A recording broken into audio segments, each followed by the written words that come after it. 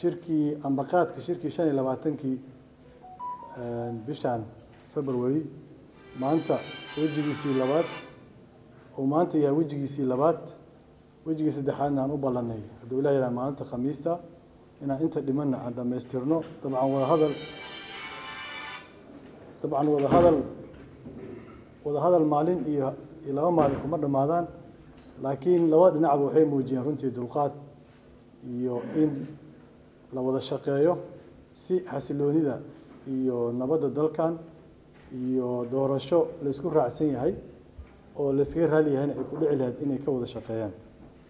Qodobadan isku raacnay wasiir xunduri yaa sheegay waxaa ugu horreeya in dowladda xukuumadda uu ra'isul wasaare hogaamiyo rooble xilgaarsiinta ka wada shaqeyno mudaharaadka oo dhici doona maalinta sabdiga bishu ay tahay lixda febraayo codsigeennii ahaa inuu ka dhaco daljirka dahsoon oo ay soo jeediyeen midooda musharaxiinta. Markii horeba xukuumadda inay nagala shaqeyso ama ay midooda kala shaqeyso amniga mas'uuliyaddeedana ay qaadato.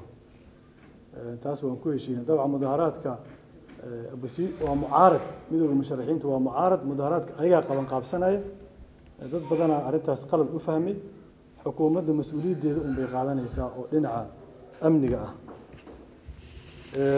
Ta labaad waxaa la magacaabay guddigii baaritaanka dhacdadii sagaal iyo tobankii oo laba dhinac oo saddex dhinaca golaha midooda musharaxiinta ah iyo saddex dhinaca xukuumadda ka socda oo dad runtii aan isleenahay kulligoodba dad khibrad u leh arrimaha amniga waaye oo saraakiil sarsare oo ciidanka xoogga dalka qeybihiisa kala duwan ka tirsan iyo rag khubaro amni ah oo isku jiro inay keenaan natiijadii wixii dhacay sagaal iyo tobankii febraayo iyadana waa waa lagu heshiiyey.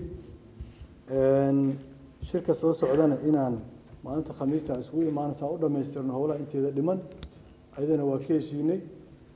Waxaan ugu baaqaynaa marka shacabka soomaaliyeed meel kasta ay joogaan iyo xooga siyaasadeed halkan ka maqanba in arrintaas nalala qaato nalala soo dhoweeyo si aan ugu dhowaano geedi socodkii aan ugu soo jirnay qabashada doorasho loo dhan yahay la isku raacsan yahay si xasiloonna ku dhacda cid kasta oo ka tirsan saamileyda kale ee siyaasadeed ama dowlad goboleedyo ama maaragtay bulshada rayidkaa ama qeybaha kala duwan ee bulshadana waa ugu mahad celinaynaa taageerada arrintaas ay siiyeen marka intaas un baan rabay aniga inaan caddeeyo mar kalena aan ku celiyo inuu mudaharaadkii maalinta sabdiga ee lixda bisha uu yahay waana mahadsantihiin. Asalaamu calaykum waraxmatullahi wabarakatu premier wallet waa application cusub oo uu kuu keenay premier bank.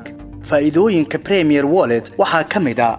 Waad iska diiwaangelin kartaa adigoo jooga goobtaada. Dadkaan akawnka ku lahayn bangiga premier waa ay iska diiwaangelin karaan premier wallet dukaamada iyo ganacsiyada kala duwan ayaad wax uga iibsan kartaa. Lacagaha waxbarashada caafimaadka korontada ayaad ku bixin kartaa. Lacag ayaad u diri kartaa qof kale laguguna soo diri karaa si fudud.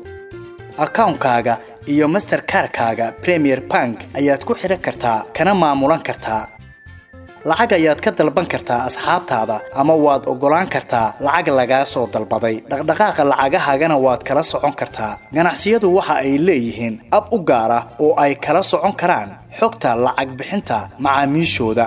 Intaa in ka badanba ka hel abka premier wallet oo kala soo deg hadda blay storeka ama ab storeka